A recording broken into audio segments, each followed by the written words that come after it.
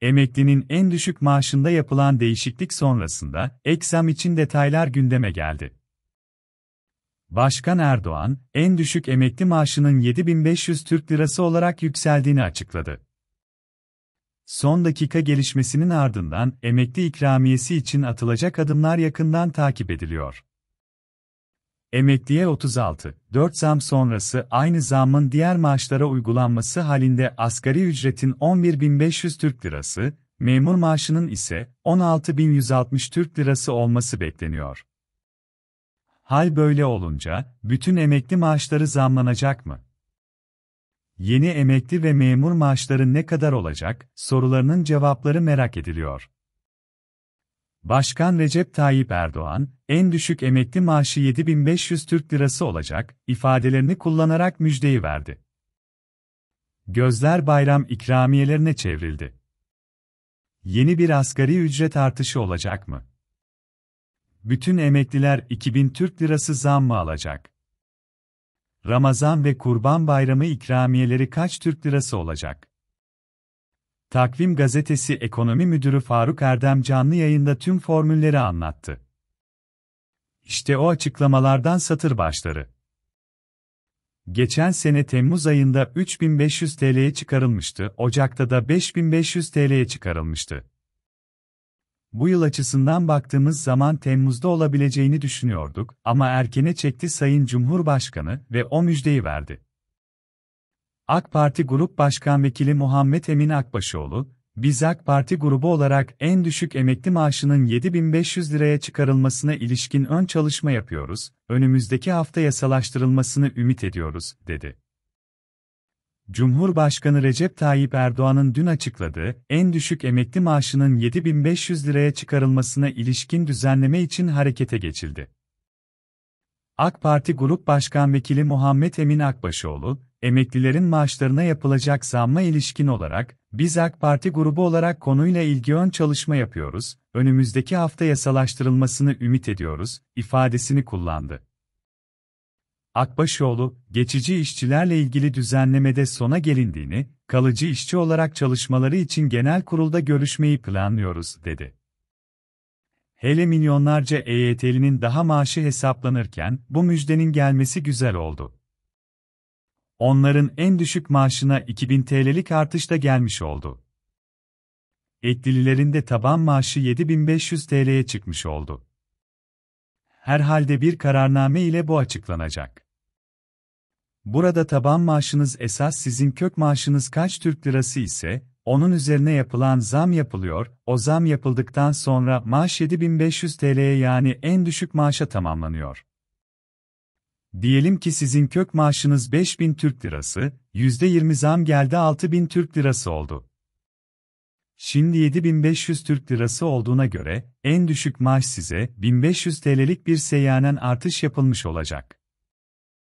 Dolayısıyla en düşük maaşlar buraya tamamlanmış olacak. İkinci aşamada da ikramiye var. Üçüncü aşamada asgari ücret de var. Depremden önce biz bunları konuşuyorduk. Yeni bir asgari ücret artışı olur mu diye. İkramiye meselesinde de dün Çalışma Bakanı, Türkiye Emekliler Derneği'ni ziyaret etti. Orada da bu ikramiye ile ilgili bir açıklama yaptı. Hatta bu en düşük maaşla ilgili bir çalışma yapıldığını söylemişti ki Sayın Cumhurbaşkanı açıkladı. Şu anda 1100 Türk Lirası bir tane ikramiye iki ikramiye ödeniyor toplamda da 2200 Türk Lirası oluyor. Enflasyon formülü şu burada yıllık enflasyona bakıyoruz geçen ayki yıllık enflasyon %55.18 çıkmıştı. Oradan baktığın zaman burada 1450-1500 TL'ye yakın bir rakam ortaya çıkıyor.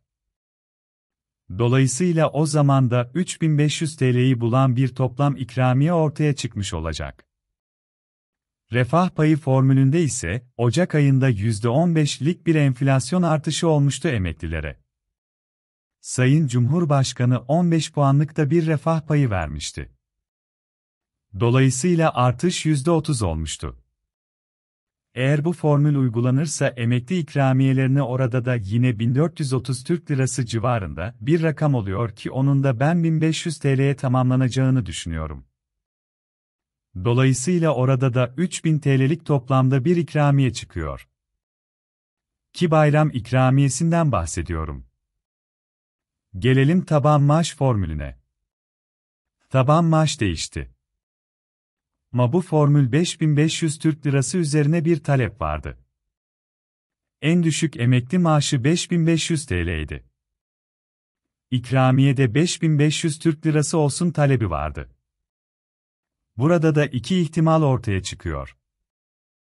Acaba her ikramiye 5500 Türk Lirası olur mu o zaman 10.000 TL'lik bir ikramiye ortaya çıkıyor. Ama talep şu yöndeydi iki ikramiyenin toplamı en düşük emekli maaşı olsun diye o da 5500 TL'ydi ama şimdi Sayın Cumhurbaşkanı rakamı 7, 500'e çıkarınca burada 3750 TL'lik bir ikramiye de ortaya çıkabilir. Onu da söylemiş olalım. Yani iki ikramiyenin toplamı 7500 Türk Lirası olabilir. İnşallah o olur. 5500 TL'den hesaplıyorduk şimdi 7500 TL'ye çıktı çıta yükseldi. İnşallah ikramiyede 3750 artı 3750 toplamda da 7500 lira olarak hem eklililer hem de diğer bütün emeklilere verilir. Burada taban maaşın artırılması söz konusu yani seyyanen bir artış, en düşük maaşa yani 5500 TL'ye yapılmış oldu dolayısıyla herkese 2000 TL'lik artış gibi bir şey söz konusu olmayacak. Kök maaşlar değişmiyor yani 5500 Türk Lirası alan arkadaşımızın maaşı aslında 4000 Türk Lirası ya da 7500 Türk Lirası alan arkadaşımızın maaşı aslında 5000 Türk Lirası, o değişmiyor. Bütün enflasyon artışları o kök maaş üzerinden oluyor. Diyelim 8000 Türk Lirası alıyorsa bir arkadaşımız onun da bu kök maaşına zam yapılacak. Dolayısıyla o aradaki fark devam edecek. Ekonomist Muhammed Bayram, sene sonundan itibaren %100'den fazla bir artış yapıldı. Biz de beklemiyorduk bir sürpriz oldu.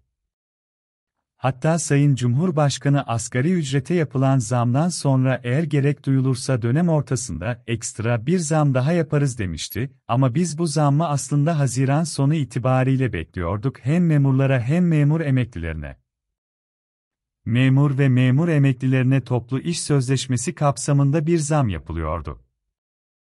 Bu kapsamda da en düşük emekli maaşı da revize ediliyordu. Emeklilerimiz enflasyondan etkilenmesin diye Sayın Cumhurbaşkanı da hep emeklinin yanında olmuştur 5500 Türk Lirası olan en düşük emekli maaşını 7500 TL'ye yükseltti. Emeklilerimize bir can suyu niteliğinde oldu.